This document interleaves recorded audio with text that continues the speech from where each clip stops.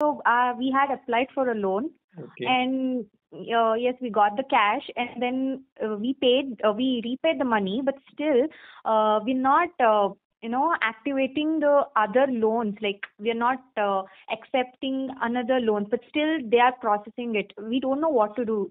Uh, simply the money is coming into account, and we have to repay m- more amount, and they're like, uh, you, uh, I'll uh, put your porn videos, and so something and all like they're warning us. I don't know what to do. It's uh, we have not uh, no we have not went to ask them any of the loans, but still they are doing this. Which loan app it is? EAS. Yes, so let me tell you first of all, like uh, actually you people are not aware.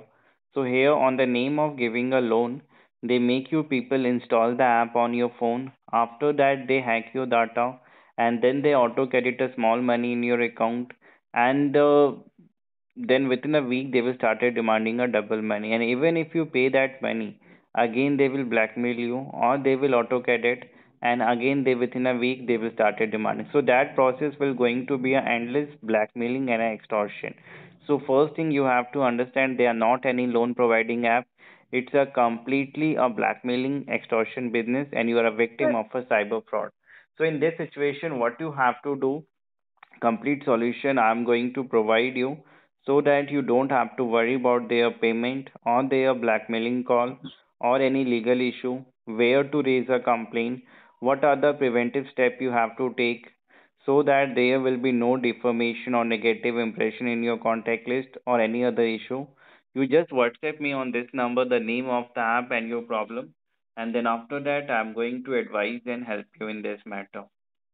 uh, so actually, You have listened that how even after paying the money also they are auto crediting and again and again they are blackmailing you on the name of sharing your photos video to social media sending your photos morph and document to your contact list many people are facing these apps. So how to deal with the loan app in case they are sending your nude photos to your contact list?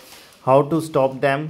What are the preventive measures you are supposed to take? How you can close your loan account? How you can stop them from sending a money to your account?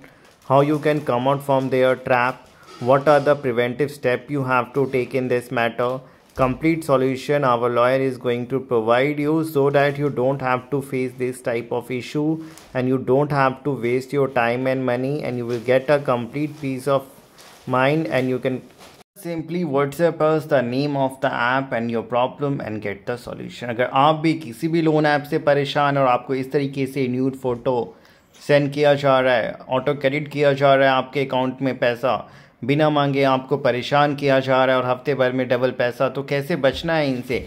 जिससे कि आपको कहीं से भी ना इनका payment का tension रहे ना इनका ब्लैकमेलिंग कॉल का ना ही कोई लीगल इशू का और ना ही कहीं से कांटेक्ट में बदनामी का।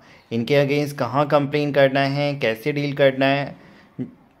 वो सारा कुछ आपको बताया जाएगा हमारे लॉयर्स के द्वारा। जिस भी लोन ऐप से आप परेशान हैं, उसका नाम और प्रॉब्लम हमें व्हाट्सअप करें और कंप्लीट हेल्प लें। वीडियो को जितना हो सके शेयर करें, जिससे बाकी लोग भी अवेयर हों और इन फेक लोन ऐप से खुद को और अपने कॉन्टैक्ट को भी बचाएँ। वीडियो को जितना हो सके लाइक और शेयर करें। चैनल को सब्सक्राइब कर लें और बने रहें हमारे साथ।